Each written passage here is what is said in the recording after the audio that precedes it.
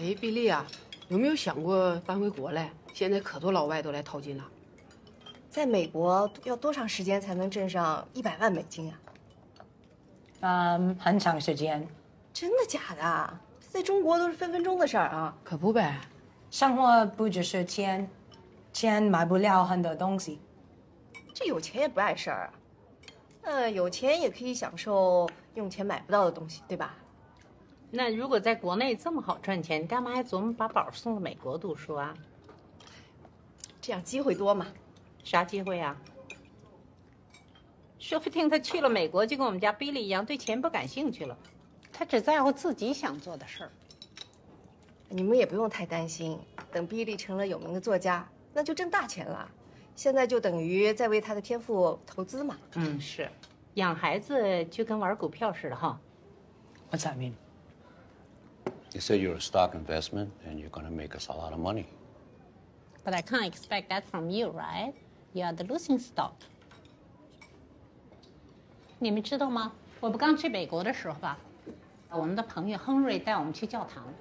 等到我们做完了礼拜的时候，他就跟着人群一起往外走。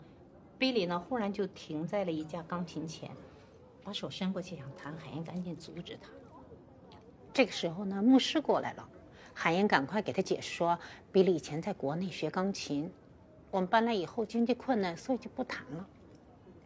牧师二话都没说就走了。一会儿他回来的时候，手里拿了把钥匙，就跟我们说：“这把钥匙可以打开教堂所有的门，你们孩子什么时候想弹琴的时候就可以进来，教堂所有的钢琴都可以弹。真的吗？他们真把钥匙给你了？嗯，这就是美国。Mom, that church is not representative of all America. We have a lot of problems guns, healthcare. If you think China's that good, why don't you move here？中国人有中国人的好处啊。再说了，咱也不是一无是处，是吧？那当然了，北京烤鸭就特别有贡献，对吧？行了行了，再怎么着也不能说中国不好。别忘了，你们都是中国人。我们现在应该算是美国人吧？我们拿的是美国护照吗？我永远是中国人，不管住在哪儿，拿哪国的护照。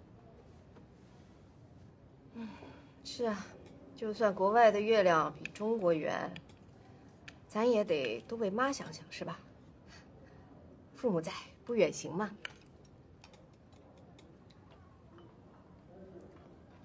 好了好了，今天聚啊，咱们说点高兴的事儿、啊。